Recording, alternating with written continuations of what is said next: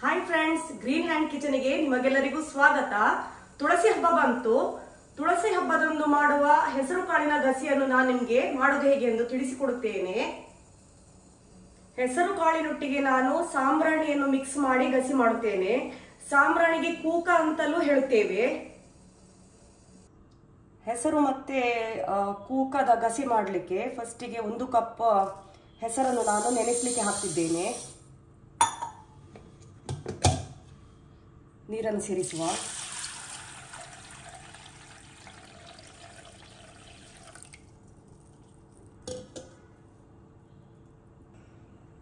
ನಾನೀಗ ಬೆಳಿಗ್ಗೆ ಹೆಸರನ್ನು ನೆನೆಸಲಿಕ್ಕೆ ಹಾಕಿದ್ದೇನೆ. ಇನ್ನು ನಾನು ರಾತ್ರಿ ಇದರದ್ದು ಗಸಿ ಮಾಡ್ತಿದ್ದೇನೆ. ಫ್ರೆಶ್ ಫ್ರೆಶ್ ಆದ ಸಾಂಬ್ರಾಣಿ ಸಿಕ್ಕಿದೆ. ನೋಡಿ. ಒಂದು ಕೆ ಜಿ ತಂದಿದ್ದೇನೆ ನಾನು. ದೊಡ್ಡ ದೊಡ್ಡದು ಉಂಟು ನೋಡಿ. ಎಷ್ಟು ದೊಡ್ಡದುಂಟು ನೋಡಿ, ತುಂಬ ದೊಡ್ಡ ದೊಡ್ಡದುಂಟಿದು ಸಾಂಬ್ರಾಣಿದು ಸಿಪ್ಪೆ ತೆಗಿಲಿಕ್ಕೆ ತುಂಬ ಕಷ್ಟ ಉಂಟು. ಹಾಗಾಗಿ ನಾನು ಇದನ್ನು ನೀರಲ್ಲಿ ನೆನೆಸಿಡ್ತೇನೆ. ಆಗ ಸ್ವಲ್ಪ ಸುಲಭವಾಗಿದ್ರ ಸಿಪ್ಪೆಯನ್ನು ತೆಗಿಬೋದು. ನನಗೆ ಬೇಕಾದಷ್ಟು ಸಾಂಬ್ರಾಣಿಯನ್ನು ನಾನು ನೀರಲ್ಲಿ ನೆನೆಸಿಟ್ಟಿದ್ದೇನೆ.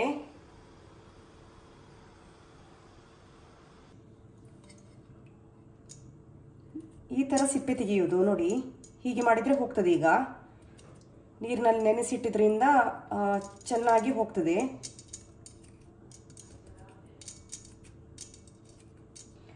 ನೀರಲ್ಲಿ ನೆನೆಸಿಟ್ರೆ ಕ್ಲೀನಾಗಿ ಹೋಗ್ತದೆ. ಎಲ್ಲಿಯಾದರೂ ಸ್ವಲ್ಪ ಸ್ವಲ್ಪ ಹೋಗದಿದ್ರೆ ಈ ಚಾಕುವಿನ ಸಹಾಯದಿಂದ ಹೀಗೆ ತೆಗೆದ್ರೆ ಆಯಿತು. ನೋಡಿ ಕ್ಲೀನ್ ನೀರಲ್ಲಿ ಹಾಕುವ. ಹೀಗೇನೆ ನಾನು ಎಲ್ಲದರ ಸಿಪ್ಪೆ ತೆಗಿತೇನೆ ಈಗ. ಸಾಂಬ್ರಾಣಿದು ಸಿಪ್ಪೆ ಇತ್ತು ನಾನು ನೀರಲ್ಲಿ ಹಾಕಿಟ್ಟಿದ್ದೇನೆ. ನೀರಲ್ಲೇ ಹಾಕಿಡಬೇಕು. ಇಲ್ಲದಿದ್ದರೆ ಇದು ಕಪ್ ಕಪ್ ಆಗ್ತದೆ. ಸಾಂಬ್ರಾಣಿಯ ಗಸಿ ಮಾಡಲು ಹೆಸರನ್ನು ಈಗ ನಾನು ತುಳಿತಿದ್ದೇನೆ. ಆಗ ಇದು ನೆನೆಸಿಟ್ಟದ್ದು ಬೆಳಿಗ್ಗೆ. ಈಗ ನಾನು ತುಳಿತಿದ್ದೇನೆ. ಇದರ, ಆದಷ್ಟು ಇದರ ಸಿಪ್ಪೆ ತೆಗೆಯಲು ನೋಡ್ತೇನೆ ನಾನು. ಹೆಸರನ್ನು ಈ ಥರ ಮಾಡಬೇಕು.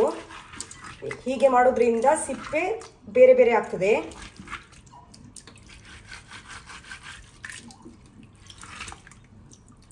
ಎಷ್ಟಾಗ್ತದೆ ಅಷ್ಟು ಮಾಡಿದರೆ ಸಾಕು ನೀವು. ಎಲ್ಲ ಸಿಪ್ಪೆ ಹೋಗಬೇಕಾಗಿಲ್ಲ. ನೋಡಿ, ಈ ಥರ ಇದು ಬೇಡ.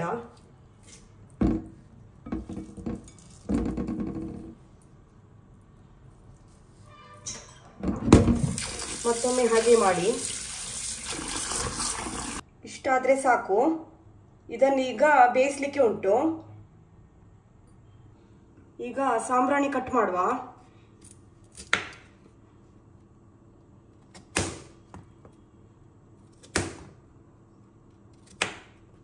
ಇಷ್ಟು ದೊಡ್ಡ ಪೀಸ್ ಮಾಡಿ ಗಸಿಗೆ. ಇದು ಸಹ ನೀರಲ್ಲಿ ಹಾಕಿ.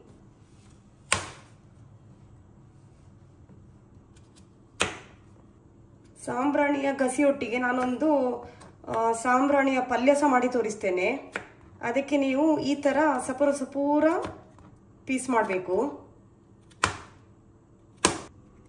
ಇಷ್ಟು ಸಪುರ ಆಗಬೇಕು. ನೋಡಿ, ಎಷ್ಟು ಸಪುರ ಆಗ್ತದೆ, ಅಷ್ಟು ರುಚಿ ಆಗ್ತದೆ ಪಲ್ಯ.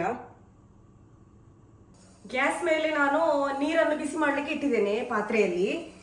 ಕುದಿ ಬರ್ತಾ ಉಂಟು. ಈಗ ನಾನು ತುಂಡು ಮಾಡಿದ ಸಾಂಬ್ರಾಣಿಯನ್ನು ಹಾಕ್ತಿದ್ದೇನೆ ಬೇಯಿಸ್ಲಿಕ್ಕೆ. ಇದರಲ್ಲಿ ಕಾಲು ಕೆ ಜಿಯಷ್ಟು ಸಾಂಬ್ರಾಣಿ ಉಂಟು ಕಟ್ ಮಾಡಿದ್ದು. ಕುದಿ ಬರುವ ನೀರಿಗೆ ಸಾಂಬ್ರಾಣಿಯನ್ನು ಹಾಕ್ತಿದ್ದೇನೆ ಬೇಯಿಸ್ಲಿಕ್ಕೆ.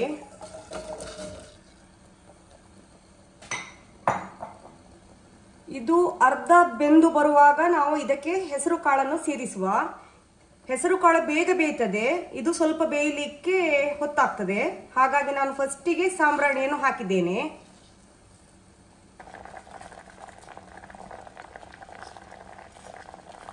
ಸಾಂಬ್ರಾಣಿ ಬೇಯುವುದರ ಒಳಗೆ ನಾವು ಗಸಿಯ ಮಸಾಲೆಯನ್ನು ರುಬ್ಬುವ. ನಾನೀಗ ಮಸಾಲೆಗೆ ಏನು ಬೇಕಂತ ಹೇಳ್ತೇನೆ ನಿಮಗೆ. ಅರ್ಧ ತೆಂಗಿನಕಾಯಿ ತುರಿ, ಒಂದು ಎಂಟು ಘಾಟಿ ಮೆಣಸು, ಇದನ್ನು ನಾನು ತೆಂಗಿನ ಎಣ್ಣೆಯಲ್ಲಿ ಹುರಿದಿದ್ದೇನೆ. ಸ್ವಲ್ಪ ಹಳದಿ ಹುಡಿ. ಹುಳಿ ಹಾಕುವುದಿಲ್ಲ ನಾನು, ನನಗೆ ಅಮಟೆಕಾಯಿ ಸಿಕ್ಕಿದೆ. ಎರಡು ಅಮಟೆಕಾಯಿಯನ್ನು ನಾನು ಇದಕ್ಕೆ ಜಜ್ಜಿ ಹಾಕ್ತೇನೆ. ಮಿಕ್ಸಿ ಜಾರಲ್ಲಿ ಹಾಕ್ತಿದ್ದೇನೆ ತೆಂಗಿನಕಾಯಿ ತುರಿ.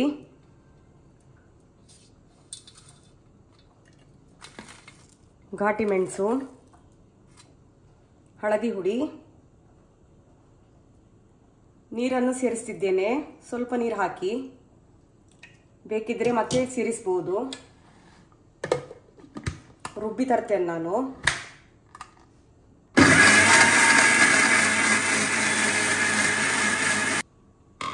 ಮಸಾಲೆ ರುಬ್ಬಿ ತಂದಿದ್ದೀನಿ. ಬೌಲಿಗೆ ಹಾಕುವ.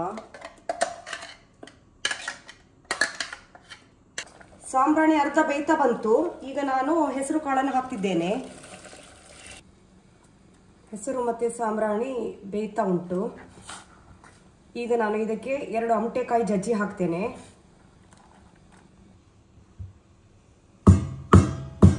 ಅಮಟೆಕಾಯಿ ಹಾಕ್ತಿದ್ದೇನೆ ಜಜ್ಜಿದು. ಅಮಟೆಕಾಯಿ ಬದಲಿಗೆ ನೀವು ಬಿಂಬುಲಿ ಸಹ ಹಾಕ್ಬೋದು. ಅದು ಸಹ ಒಳ್ಳೇದಾಗ್ತದೆ. ಒಂದು ಐದಾರು ಬಿಂಬುಲಿ ಹಾಕಿದ್ರೆ ಆಯಿತು. ಅಮಟೆಕಾಯಲ್ಲಿ ರುಚಿ ಇನ್ನೂ ಸಹ ಹೆಚ್ಚುತ್ತದೆ ಬಿಂಬುಲಿಗಿಂತ. ಇದೇ ಸಮಯಕ್ಕೆ ನಾನು ಉಪ್ಪನ್ನು ಸೇರಿಸ್ತಿದ್ದೇನೆ. ರುಚಿಗೆ ತಕ್ಕಷ್ಟು ಉಪ್ಪು. ಮತ್ತೆ ನೋಡಿಕೊಳ್ಳಿ ಉಪ್ಪನ್ನು. ಬೇಕಿದ್ರೆ ಮತ್ತೆ ಸೇರಿಸಬಹುದು ಸಾಂಬ್ರಾಣಿ ಮತ್ತೆ ಹೆಸರು ಕಾಳು ಬೇಯ್ತಾ ಉಂಟು. ಅಷ್ಟರ ಒಳಗೆ ನಾನು ಒಂದು ನಿಮಗೆ ಸಾಂಬ್ರಾಣಿಯ ಪಲ್ಯ ಮಾಡೋದು ಹೇಗಂತ ಹೇಳಿ ತಿಳಿಸಿಕೊಡ್ತೇನೆ. ಗ್ಯಾಸ್ ಮೇಲೆ ಕಡಾಯಿ ಇಟ್ಟಿದ್ದೇನೆ. ಇದಕ್ಕೆ ನಾನು ಎರಡರಿಂದ ಮೂರು ಚಮಚದಷ್ಟು ತೆಂಗಿನೆಣ್ಣೆ ಹಾಕ್ತಿದ್ದೇನೆ. ಎಣ್ಣೆ ಬಿಸಿ ಆಯಿತು. ಈಗ ಅರ್ಧ ಚಮಚದಷ್ಟು ಸಾಸಿವೆ ಹಾಕ್ತಿದ್ದೇನೆ.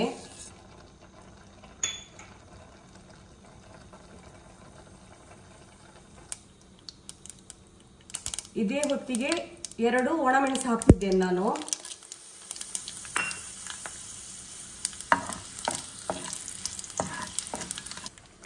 ಈಗ ಕಟ್ ಮಾಡಿದ ಸಾಂಬ್ರಾಣಿ ಮಿಕ್ಸ್ ಮಾಡುವ. ಇದು ಸಹ ಕಾಲು ಕೆ ಜಿಯಷ್ಟು ತೆಗೆದುಕೊಂಡಿದ್ದೇನೆ.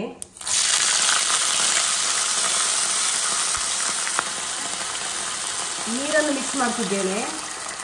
ಇದೀಗ ಬೇಯಬೇಕು.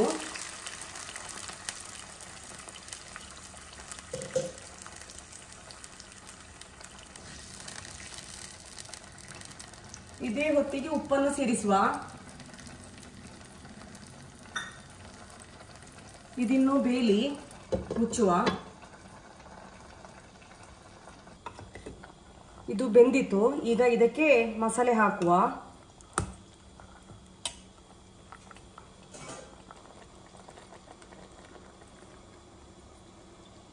ಚೆನ್ನಾಗಿ ಮಿಕ್ಸ್ ಮಾಡುವ. ಸಾಂಬ್ರಾಣಿ ತಿನ್ನಲಿಕ್ಕೆ ತುಂಬಾ ರುಚಿಯಾಗಿರುತ್ತದೆ.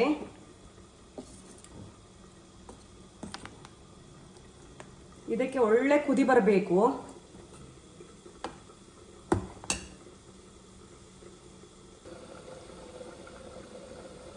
ಪಲ್ಯ ನೋಡುವ ಏನಾಯ್ತಂತ ಬೇಯ್ತಾ ಉಂಟು.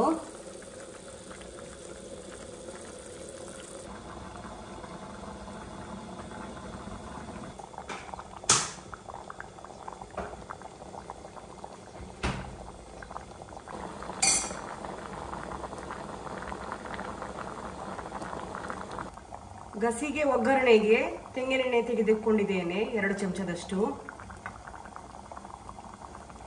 ಅರ್ಧ ಚಮಚದಷ್ಟು ಸಾಸಿವೆ ಹಾಕ್ತೇನೆ.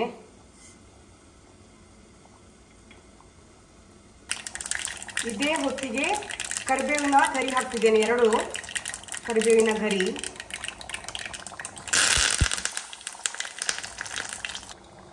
ಗಸಿಗೆ ಹಾಕುವ ಒಗ್ಗರಣೆ.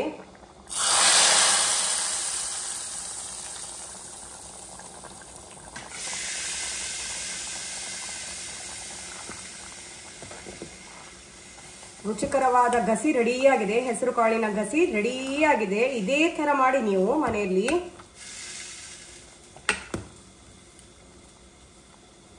ಪಲ್ಯ ನೋಡಿ, ಏನಾಯ್ತಂತ? ಇದೇ ಹೊತ್ತಿಗೆ ನಾನೀಗ ತೆಂಗಿನಕಾಯಿ ತುರಿಯನ್ನು ಹಾಕ್ತಿದ್ದೇನೆ, ಎರಡು ಚಮಚದಷ್ಟು. ಈ ಪಲ್ಯ ತುಂಬಾ ರುಚಿಯಾಗಿರ್ತದೆ.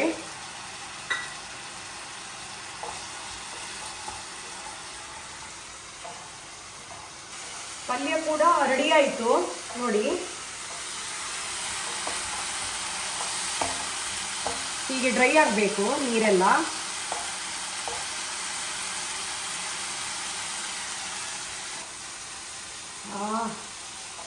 ಗ್ಯಾಸ್ ಬಂದ್ ಮಾಡ್ತೇನೆ ನಾನು. ಗ್ಯಾಸ್ ಬಂದ್ ಮಾಡಿದೆ. ಇನ್ನು ಮುಚ್ಚುವ. ಎರಡು ಬಗೆಯ ರೆಸಿಪಿ ನಾನು ನಿಮಗೆ ಮಾಡಿ ತೋರಿಸಿದ್ದೇನೆ. ನೀವು ಸಹ ಇದೇ ಥರ ಮನೆಯಲ್ಲಿ ಮಾಡಿ. ನಾನಿನ್ನು ಊಟಕ್ಕೆ ಕುಳಿತುಕೊಳ್ತೇನೆ. Bye.